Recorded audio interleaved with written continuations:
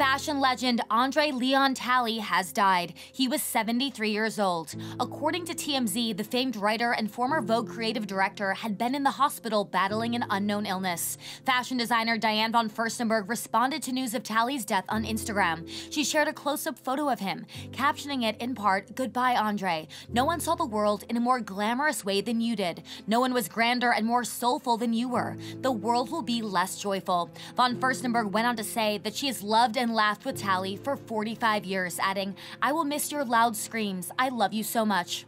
Talley first joined Vogue in 1983 as the magazine's fashion news director. He quickly rose to creative director and editor in chief Anna Wintour's right hand, a position he held from 1987 to 1995. After leaving Vogue, he moved to Paris, where he returned to W Magazine, where he had worked earlier in his career. While working for W, he had continued contributions for Vogue as an editor. He officially rejoined Vogue Vogue in 1998 full time as the editor at large. He stayed in this role until his final departure from the fashion magazine in 2013. In May of 2020, Talley released a memoir about his life and career titled The Chiffon Trenches, which chronicles his improbable rise from the front porch of his grandmother's home in Durham, North Carolina, to the front rows of fashion.